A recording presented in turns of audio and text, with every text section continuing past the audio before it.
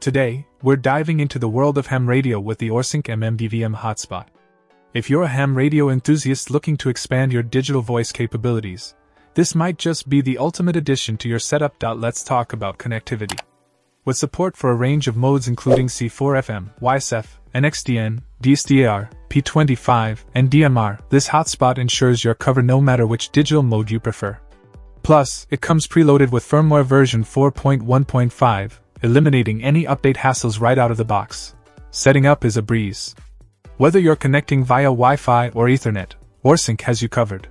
Simply ensure your Wi Fi network is on the 2.4 GHz band with WPA security, or plug in the included Ethernet cable for a reliable wired connection.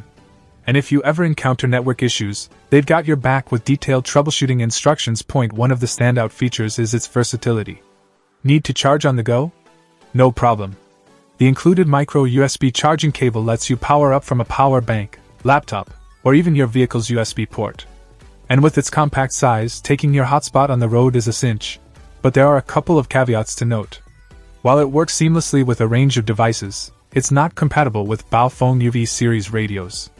And although it covers a wide frequency range, it's limited to UHF and VHF bands. In conclusion, the AURSINC MMDVM hotspot offers an easy to use, feature packed solution for ham radio enthusiasts seeking to enhance their digital voice capabilities.